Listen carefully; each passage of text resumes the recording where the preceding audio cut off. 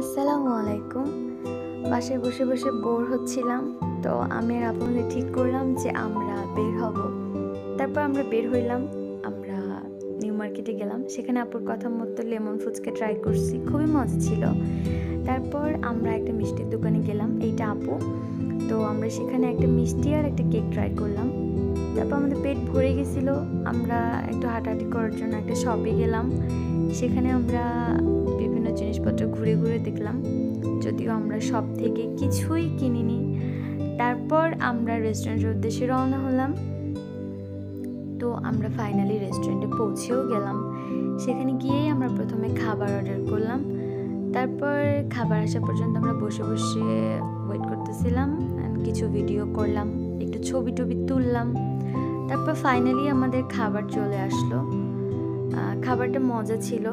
রাইসটা কেন জানি ঠান্ডা ছিল, সবই ঠিক ছিল। তাদেরকে বললাম, তার বলল যে বিদ্যুতের সমস্যার কারণে এরকম হয়েছে অ্যান্ড আমরা পরবর্তীতে গেলে আমাদেরকে ওই দুইটা প্লেটার তারা আবার ফ্রিতে খাওয়াই দিবে। তো তারপর আমরা খেয়ে দিয়ে বাসার উদ্দেশ্যে রওনা হলাম। যাইতে যাইতে আবার বৃষ্টি চলে আসছিল। যদিও আমরা নামার আগে বৃষ্টি আবার কমে গেছিল, আলহামদুলিল্লাহ।